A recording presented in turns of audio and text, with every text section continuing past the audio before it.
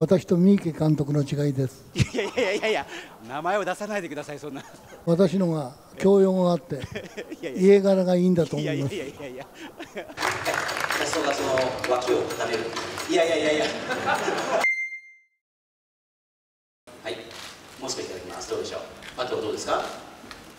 右の方大丈夫ですか？えー、とそう。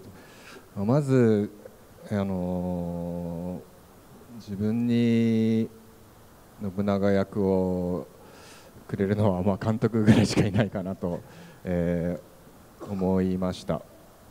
あのーああと監督ならではというと、まあ、今回、まあ、ほぼ全員と言ってもいいと思うんですが、あのーまあ、全員ひどい人でしたね。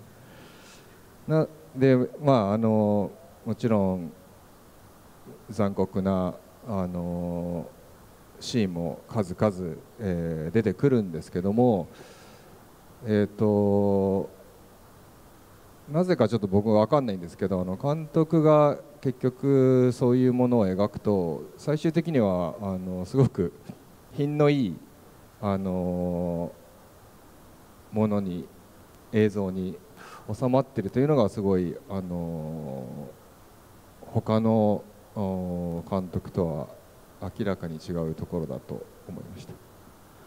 北野監督今あの加瀬さんの方から監督が北野さんが取るとなぜか品が良くなってるってお話ありましたけどもえ私と三池監督の違いです。いやいやいやいや名前を出さないでくださいそんな私のが教養があって、家柄がいいんだと思います。いやいやいやありがとうでは監督お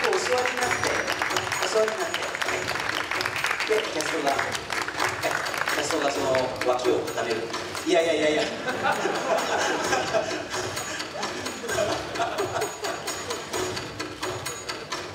スタッフが誘導いたします。はい。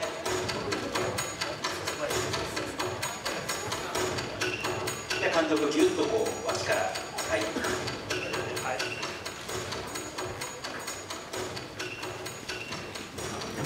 では CM から参りますよ。あどうですか？立ち位置はい。